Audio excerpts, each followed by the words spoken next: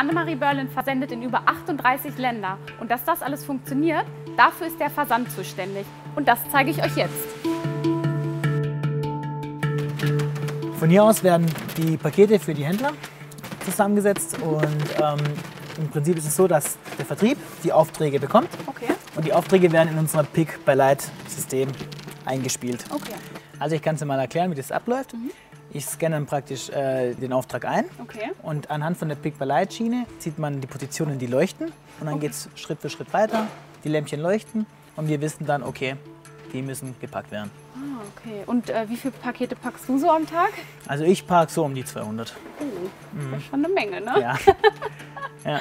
Dann geht's. Genau, dann weiter. geht es weiter. Die Kollegen schieben es zur Endkontrolle Okay. und da laufen wir jetzt hin. Ah ja, okay, super. So, und jetzt kommen wir zur Endkontrolle. Mhm.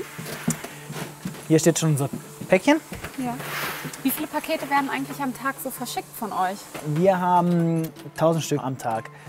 So, und hier wird es praktisch gewogen. Anhand Computer können wir erkennen, ob alles da ist, was bestellt wurde.